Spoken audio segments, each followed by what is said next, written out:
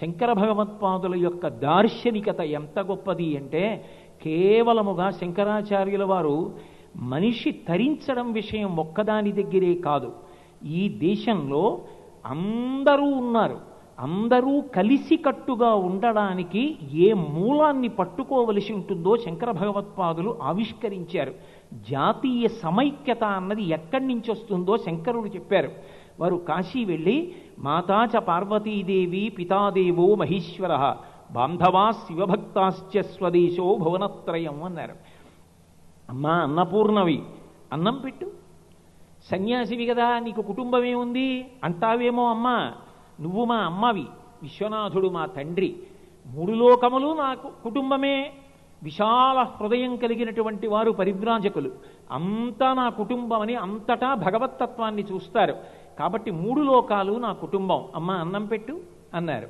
అంటే అందరికీ ఆ తల్లి ఆ పార్వతి అమ్మ ఆ శంకరుడు తండ్రి ఆ వాళ్ళిద్దరినీ పార్వతీ పరమేశ్వరుల్ని తల్లిదండ్రులు అని అనుకోగలిగిన నాడు అసలు విభేదాలు ఎందుకు వస్తాయి అసలు అం ఒక తల్లికి ఒక తండ్రికి పుట్టినప్పుడు నేను మా తమ్ముడు మా అన్నయ్య మా అక్క మా చెల్లి ఒకరిని ఒకరం ప్రేమించుకుని ఎంతో సంతోషంగా అందరం ఏడాదికి ఒక్కసారైనా కలవాలని తాపత్రయపడుతున్నాం కదా.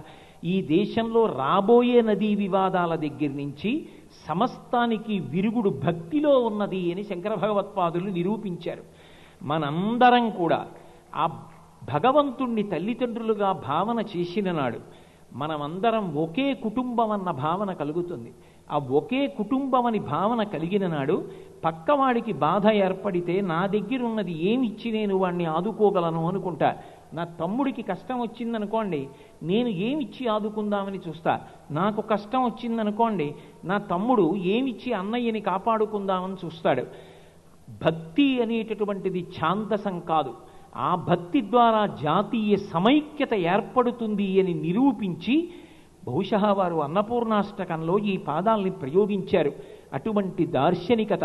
అసలు వారు అనేక క్షేత్రాల్లో అర్చక విధానాన్ని నిర్ణయించడంలో జాతీయ సమైక్యతని స్థాపించడంలో శంకరుల యొక్క దార్శనికత అర్థమవుతుంది. అటువంటి దూరదృష్టి కలిగిన మహాపురుషుడు అటువంటి మహాజ్ఞాని అటువంటి మహోపకారి లోకంలో ఆవిర్భవించడం సంభవమయ్యే విషయమని నేను అనుకోవట్లేదు.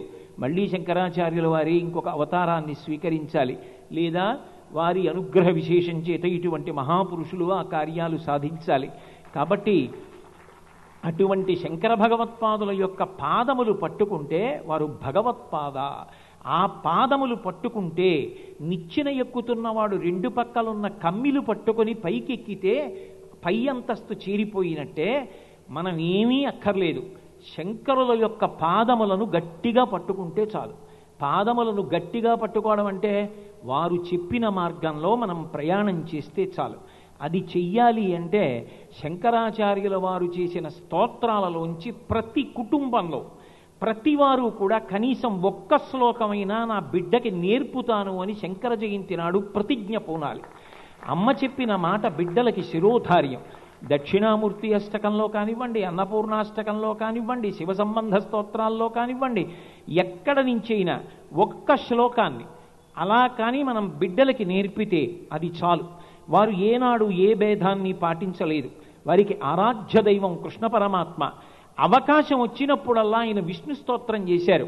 చేసినది సౌందర్య లహరి అమ్మవారి గురించిన స్తోత్రం. అక్కడ అవకాశం దొరికితే ఆయన విష్ణు వైభవాన్ని కీర్తించారు. అవిద్యానామంతస్తిమిరమిహిరోద్వీపనగరీ జడానాం చైతన్య స్తబక మకరంద శృతిశరి. దరిద్రాణం చింతామణి గుణనిక జన్మజలధౌ నిమగ్నానాం దంస్ట్రా మురలిపు వరాహస్య భవతి అంటారు. అమ్మా నీ పాదమున్నదే సంసారమనే సముద్రంలో మునిగిపోయిన వాణ్ణి పైకెత్తడంలో ఆదివరాహస్వామి యొక్క కోర లాంటిదమ్మా అంటారు. వారు ఎప్పుడూ భేదాన్ని పాటించాల.